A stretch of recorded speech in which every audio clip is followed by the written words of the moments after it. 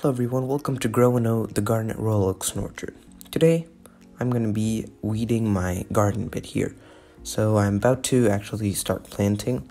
This footage was actually taken a bit a, a while ago. I've planted everything in this bed, but uh, I'm just weeding here and I'm just taking all these weeds out and putting them into this little small bowl because the thing is weeds are like the perfect material you can use to compost.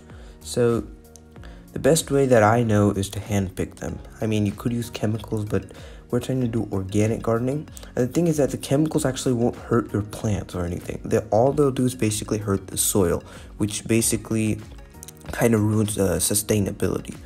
So that's the big concern about chemicals. Not that the plant will get hurt or you will get hurt for the most part. It's just that the soil will get hurt.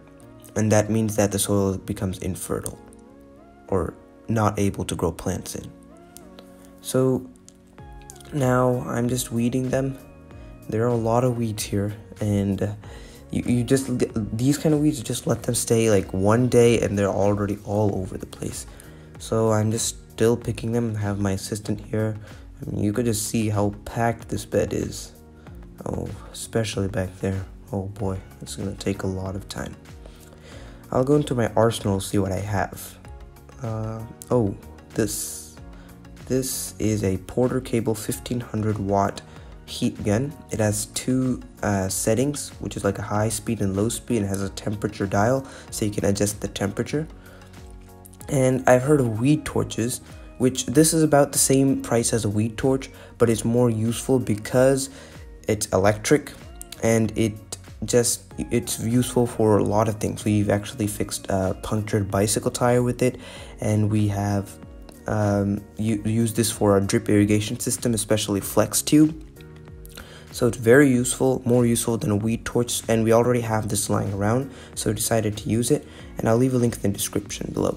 So what you can see is it basically just burns the plants. So you can see it just shrinks them, it basically just burns them and they're basically composting on the spot onto the bed. Instead of taking them putting into your compost pile or compost bin you're composting them here on the bed. So you can see some of these weeds this is a bit hard to see in that little circle but there's that grass weed that i pulled out earlier and it's really really hard to get rid of.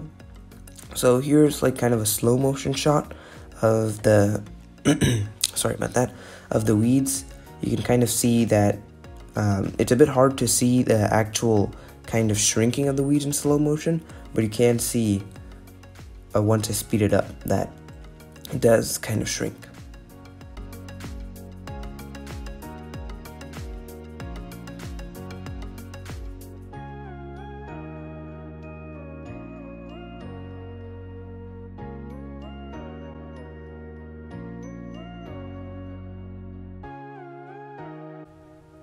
So yeah, you can see there's also the grass weed to the left.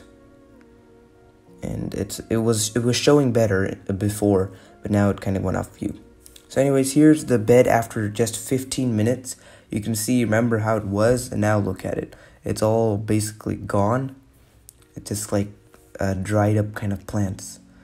This is a quite actually effective way to get rid of weeds and it's one of the best ways along with pulling it out but here you don't miss the roots or anything, you just burn it. So this is how it was, and this is how it is now. You can see we have put our beans in, but it is a big difference. And I think this will be good. So here it is three days later, and you can see that it's basically brown leaves on the ground. So now it's basically composted. Of course, there are a few clusters you can see to your left again. That one little cluster did not um, get hit and that grass weed you can see that's the one. That's really hard to get rid of. It does not seem to work for this kind of heat gun method but we are trying to get rid of it and the best way for that is just to pull it out. So that's it for this video. I hope you enjoyed. This is grown reminding you to grow young and grow old. Thank you for watching